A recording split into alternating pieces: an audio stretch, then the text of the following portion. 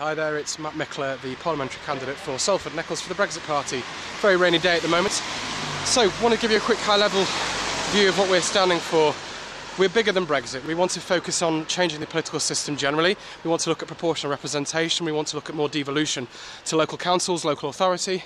We want to control more of our budget. We want to control also more of the uh, decisions we have when it comes to trade. Um, we have plenty of policies at the moment. Feel free to reach out to me and I can let you know which ones they are. Thanks.